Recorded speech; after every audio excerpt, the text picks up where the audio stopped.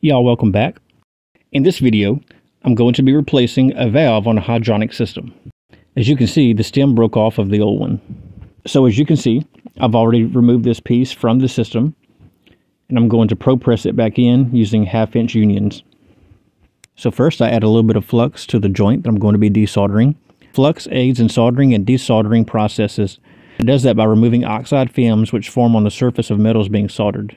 Alright, so after I ignite the torch, I'm going to apply heat evenly around the joint where the valve is connected. The solder will begin to melt as the joint heats up. So once the solder is molten, I'm going to use my channel locks to gently twist and pull the valve away from the copper pipe. And you want to be careful as the valve and pipe will be extremely hot. Next, I'm just going to follow that same process on the next joint. Then I'm going to prep the end of my copper by cleaning it with sand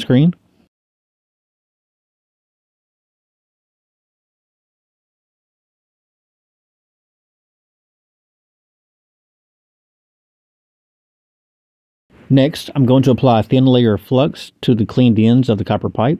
So before I begin soldering the valve in place, it's crucial that I open the valve.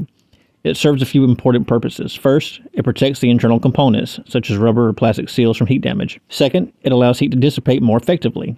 And lastly, it ensures proper functionality by preventing any solder from accidentally obstructing the valve's internal pathways. So I'm going to direct the torch heat onto the valve end rather than the copper pipe. This technique ensures the valve gets hot enough to draw in the solder, creating a strong and reliable joint. Once the joint is hot enough, touch the solder to the joint. It should melt and be drawn into the fitting by capillary action. And continue applying solder until the gap is filled. So once I've applied the solder, I'm going to use a wet rag to cool the joint. This helps solidify the solder and prevents heat from traveling to other parts of the system. And next, I'm just going to use the same process on the other side. So the solder I'm using is a 95.5 it's 95% tin and 5% antimony, which makes it a lead-free option, which is commonly used in plumbing and HVAC applications. Type of solder offers several benefits. It has a high melting point of 464 degrees. It creates strong and durable joints, corrosion resistant, and like I already stated, it's lead-free. Being lead-free, 95.5 solder is a safer choice for potable water systems, and it also meets health and safety regulations.